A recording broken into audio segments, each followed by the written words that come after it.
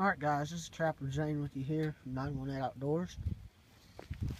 And as you can see in front of us, we've got a really, really dark possum in a dirt hole set for a coyote here. Yesterday we had a coon in this here set. We've only had it out for three days and second day it paid off with a nice extra large coon and today paid off with a really dark, dark possum.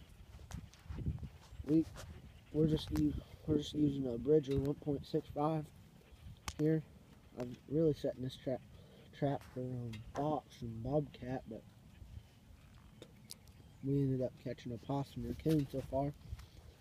You know, this is a really, really unique possum around here in my area. So, um, I'm gonna keep trapping and keep updating y'all. And my season's just started. Opened up yesterday, and you can already tell I'm having a pretty good season. Alright, guys, I'll bring y'all along if I have any more catches. Like, please like and subscribe. Bye bye.